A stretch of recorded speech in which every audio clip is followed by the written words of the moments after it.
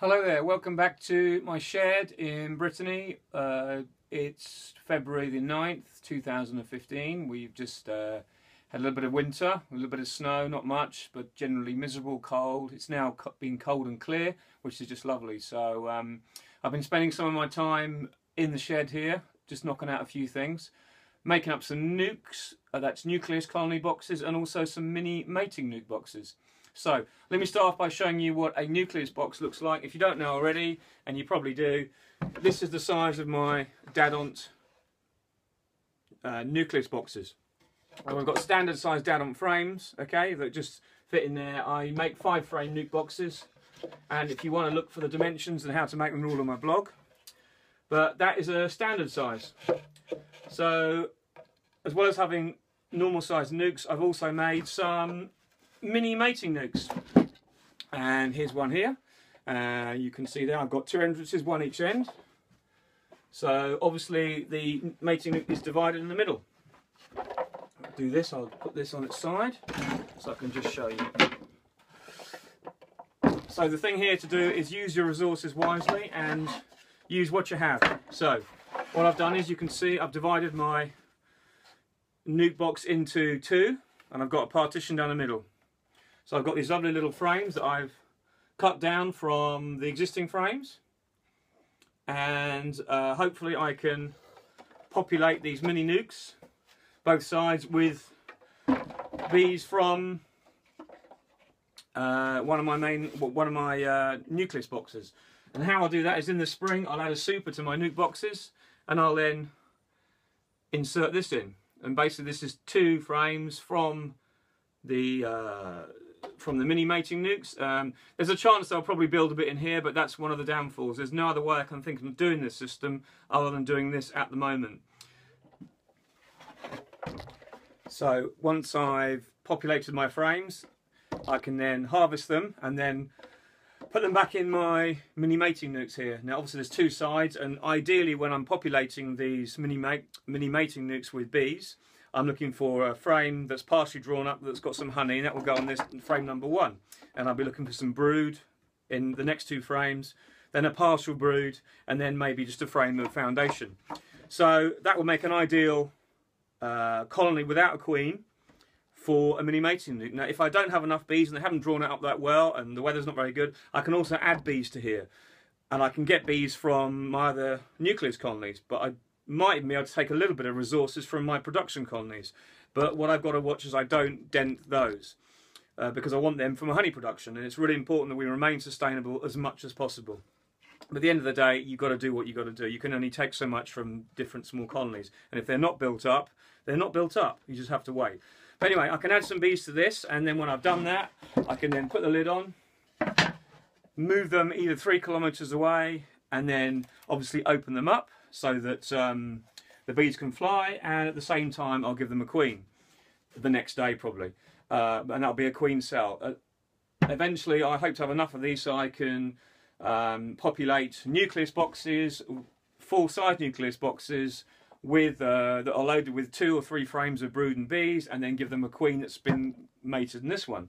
So it's all about utilising what you've got. I've tried to make up um, using standard size stuff so, and in the end of the day, if I find this doesn't work, I can whip out this middle partition and also, uh, and then reuse this as a nucleus box. So I'm not committing myself. The problem is my funding is not, uh, is not as much as I'd like, and I would like to be able to afford 100 of these, but obviously you've got to, you've got to do what you can. While I'm here, I'll just show you the inside. I'll take these frames out.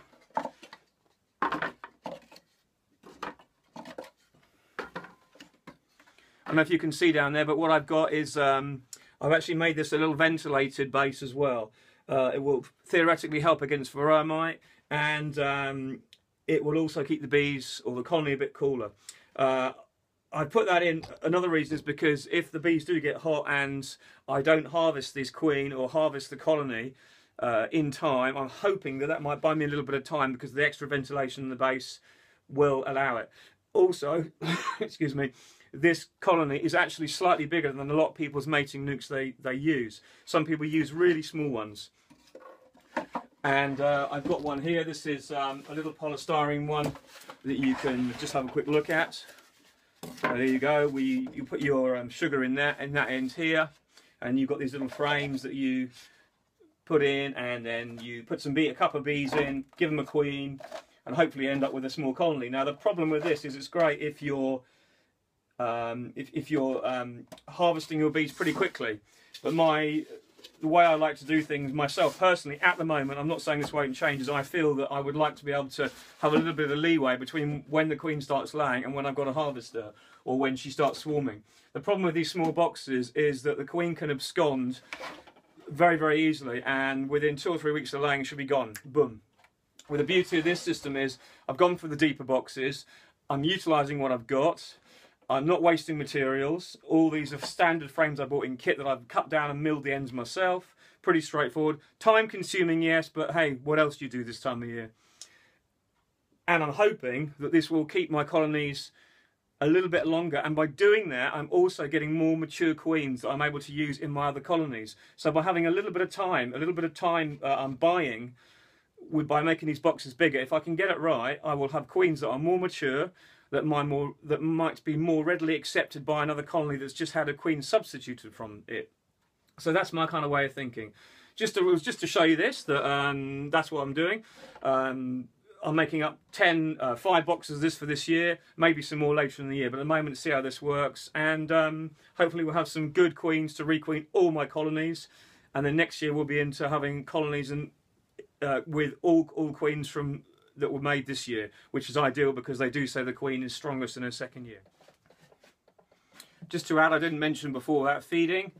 Um, feeding mini mating nucs, you obviously need to make sure your your, your colony is well uh, fed during the time uh, your queen is out mating because when she's coming back she needs to be fed well by the workers. So you either need to use uh, a division board feeder, which I don't use at the moment because I I can't really make them uh, on my own, uh, well, under the, uh, the, the, with the tools I've got. So I go for the option of using a uh, top feeder, which isn't prone to robbing because uh, it's actually enclosed within the lid.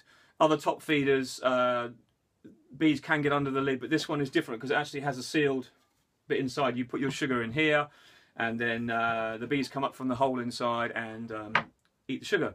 So there you are.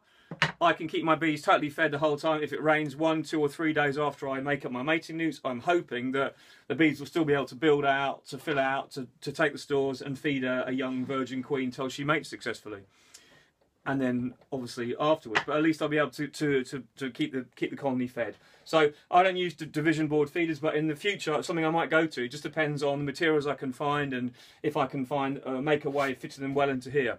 The problem I've got is actually when I harvest these um, when I harvest these nucs in the autumn, I'd like to try and overwinter them. Now, ideally, it, to overwinter them, what you what you need to do is remove the centre partition. First of all, harvest one side, use that somewhere, or, or combine it somewhere else, or use the queen, and then basically allow one queen to, to, to, to then rule over the whole rest of the colony, so that she's got more resources for that winter. Because really, trying to let your bees uh, overwinter in a, in a colony this small is going to be tricky. That's something I've got to look into this summer. Something I've got to, got to work out what the best thing to do is. Because I haven't got division board feeders, I can't move the feeder from one end to the other and then have all the frames available. So something I've got to work out. But it's, um, uh, you know, learning as you go, as they say. Anyway, as I said before, if you haven't made any nuc boxes yet, I suggest you go and make some because if you've got a couple of colonies, you will probably need a nuc or two this summer. Dead easy to make. Look on my blog, look up the how to make a nuc box or how to make a Dadant 5 frame nuc. It's actually listed in other listings on the internet. So if you just put that into Google or one of the search engines, you'll find it. It's dead easy to make. You will need it uh, nucleus boxes are one of the main key uh, elements of beekeeping and once you learn to make a few you'll realise how easy it is. Then you can start to collect a few and use them for your own resources. But anyway um, I hope you enjoyed this little video and um, if you like my uh, blog uh, if you want to join just click subscribe. And uh, I'll be doing other if you look behind there's all these lovely bottles over here waiting to be made into hornet traps. We've now got Asian hornet here um, last year, we destroyed some 200 nests in the region of the, the, the nearest large river between me and Dino. And uh, this year, we think it's going to be a major problem, but we have other issues with it as well. Anyway, I'll do a video on that uh, in a couple of weeks on how to make hornet traps for all the people living in the UK who are going to need them because there's no doubt the horn, Asian hornet is going to jump between the, the, the Kent coast and northern France. There's no doubt about that. But as and when it does and how it does it, we don't really know. But anyway, food for thought. I'll uh, update you on that later on. Anyway, take care. Hope you enjoy the video.